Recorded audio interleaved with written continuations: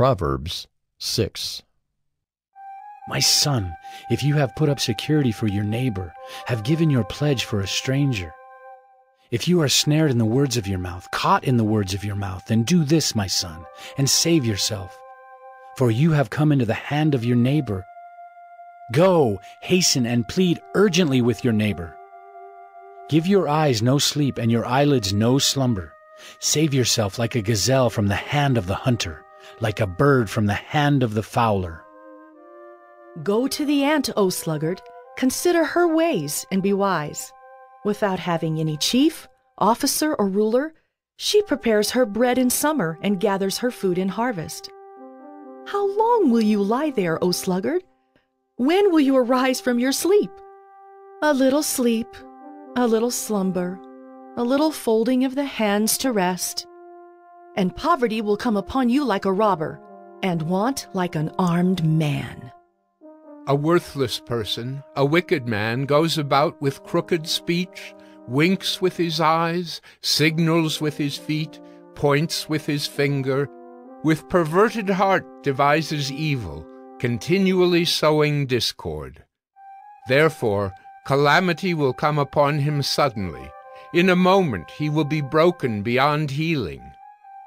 There are six things that the Lord hates seven that are an abomination to him haughty eyes, a lying tongue, and hands that shed innocent blood, a heart that devises wicked plans, feet that make haste to run to evil, a false witness who breathes out lies, and one who sows discord among brothers.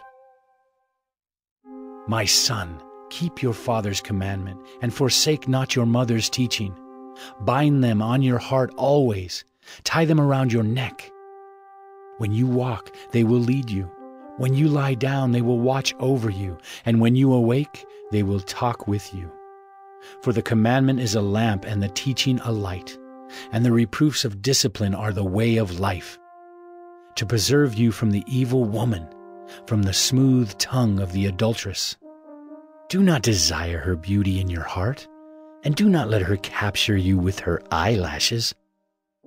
For the price of a prostitute is only a loaf of bread, but a married woman hunts down a precious life. Can a man carry fire next to his chest and his clothes not be burned? Or can one walk on hot coals and his feet not be scorched? So is he who goes into his neighbor's wife. None who touches her will go unpunished. People do not despise a thief if he steals to satisfy his appetite when he is hungry. But if he is caught, he will pay sevenfold. He will give all the goods of his house. He who commits adultery lacks sense. He who does it destroys himself.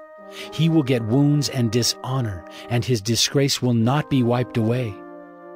For jealousy makes a man furious, and he will not spare when he takes revenge.